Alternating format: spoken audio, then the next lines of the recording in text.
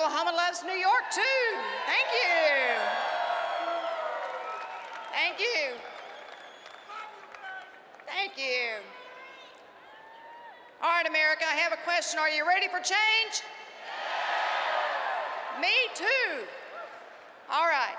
I grew up in Tecumseh, a small town in Oklahoma.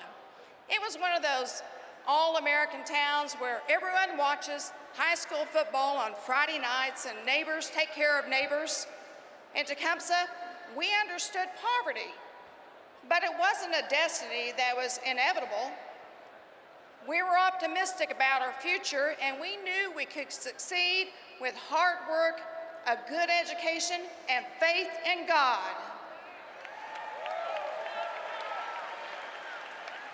There weren't very many opportunities for young women, but we did have a great role model, a woman mayor, my mom. She taught me if I worked hard, I could be anything. And I took that lesson to heart and eventually became the first female governor of the state of Oklahoma.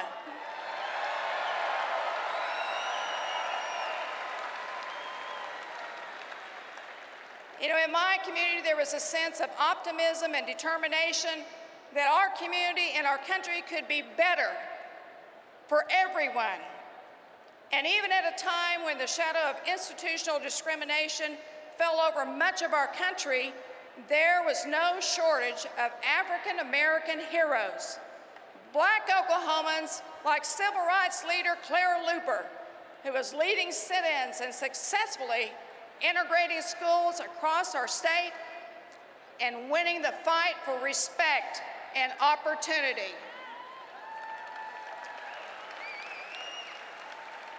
So when I look back on my childhood, my America, I don't see a perfect place, but we were united by a simple belief that no matter who you were or where you came from, better days were ahead for America.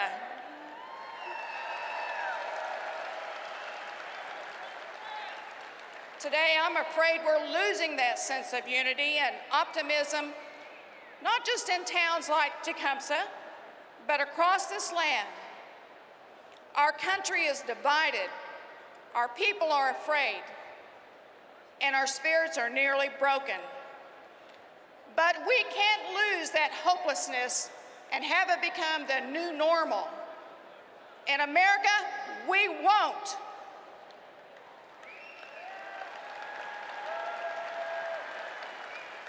You know, I, I, believe the American people are longing for the American dream where they can just get a fair shake in life and an opportunity to succeed. We must make America one again and restore the confidence in the strength of our nation.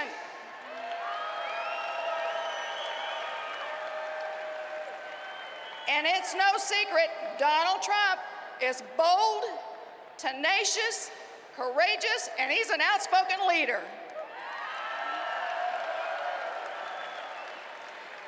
And he knows how to create jobs and successful businesses. He has bold ideas and he speaks truth to power.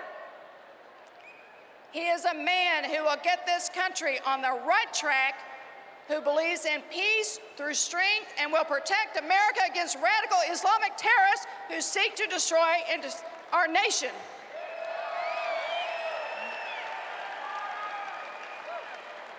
Our country has united time and time again on our core values of freedom and individual liberty and justice for all people, the principles which made our country great and which it was founded upon. And Donald Trump unapologetically stands for those values.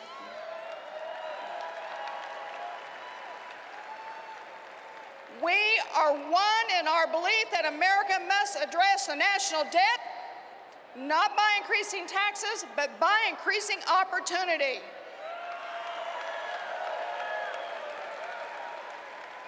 We are one in our belief that we must protect our borders and promote fair trade that puts American workers first.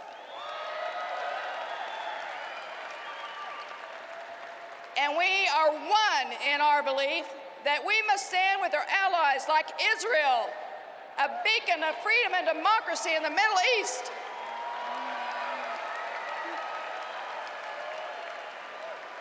And we are one in our belief that we must respect and honor our military, our veterans, and law enforcement whose sacrifice keeps us safe and free.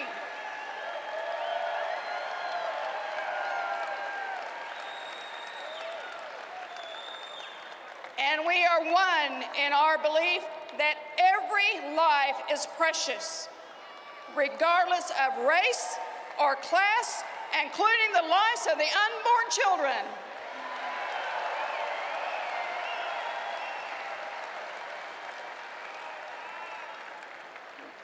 Now, as a party, we don't agree 100% on everything. That's okay. We don't have to. As Ronald Reagan once said, the person who agrees with you 80% of the time is a friend and an ally.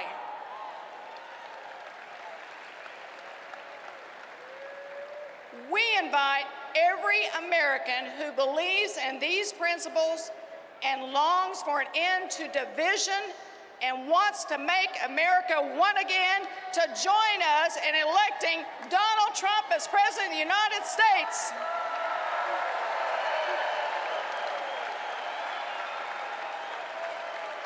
Thank you, and may God bless you all. God bless America.